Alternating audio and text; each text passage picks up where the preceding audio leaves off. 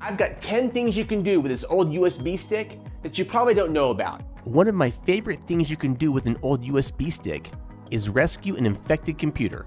And to do this, all you have to do is install virus software to the USB stick. I recommend AVG or Bitdefender. They're both free.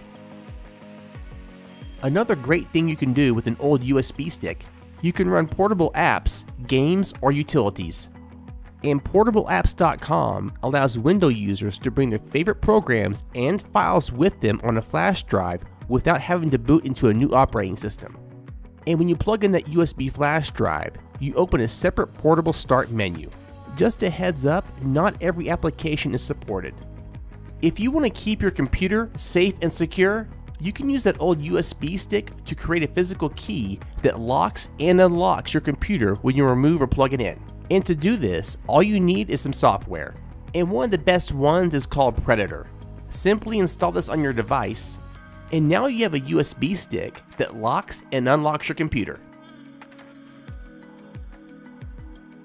Do you want to boost your Windows experience and speed up your system?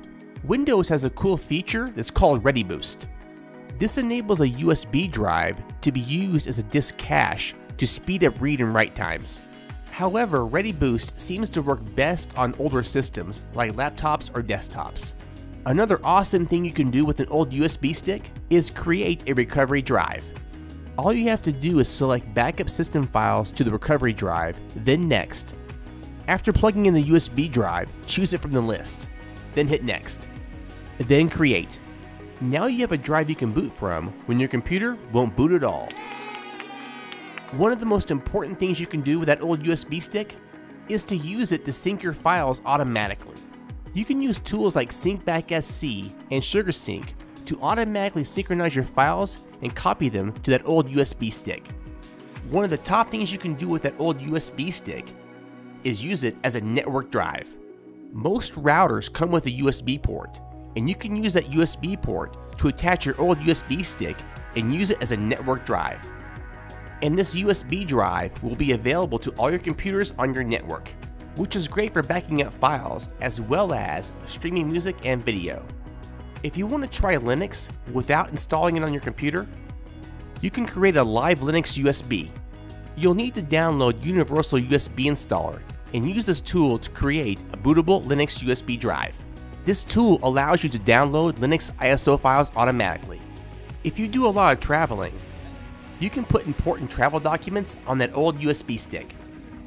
For example, you could scan your passports and then save them to your USB stick. This comes in handy if you ever lose your passports.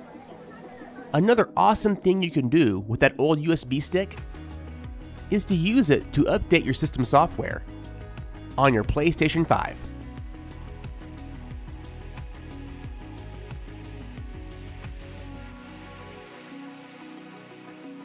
And unfortunately, your USB stick cannot make you coffee. Or can it? and guys, now that you know 10 things you can do with a USB stick that you didn't know about, make sure to hit subscribe, like, and share this video. And I'll see you in the next video real soon. Peace.